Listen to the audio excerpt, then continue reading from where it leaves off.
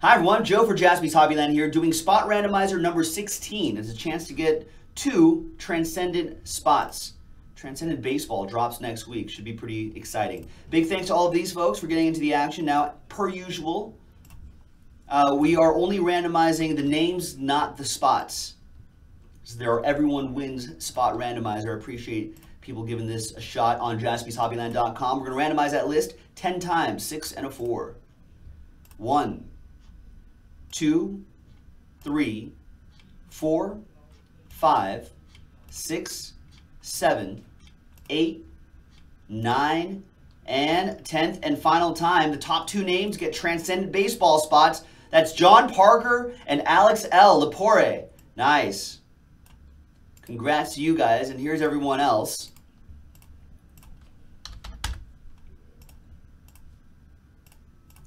All right, so John and Alex with a transcendent, those are $160 value spots right there. Jeremy 33, Bucks in Immaculate. Paul Nixon, the coach, with Immaculate uh, Dolphins. Adam Fairbank, Collegiate, along with Jimmy and John Parker. You guys get collegiate spots.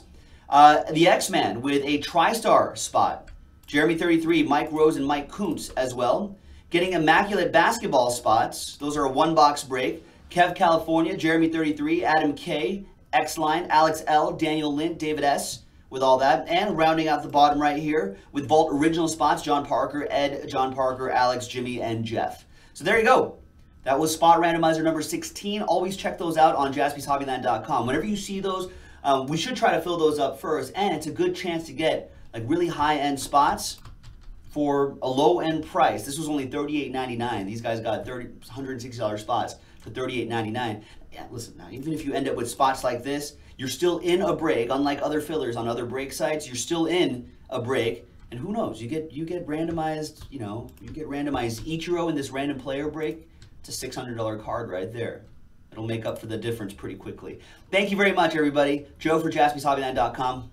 We'll break with you next time.